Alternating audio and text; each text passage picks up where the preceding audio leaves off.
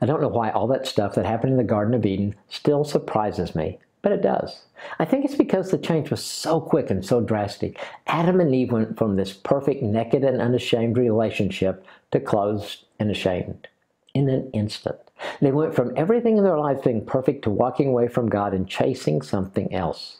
I guess what really bothers me is that I do the same thing. I know that our marriage is so good when I'm seeking God and Nancy's seeking God and we're seeking Him together. Everything seems to fall into place. I'm not saying that things are perfect, but we have a foundation in those times that can withstand anything. Then one of us can see the something else and everything changes. For us, the something else is usually the things of this world, our own selfishness. It's usually the same things that we know from years of experience don't work. What's your something else? What distracts you from God and His incredible plan for your marriage?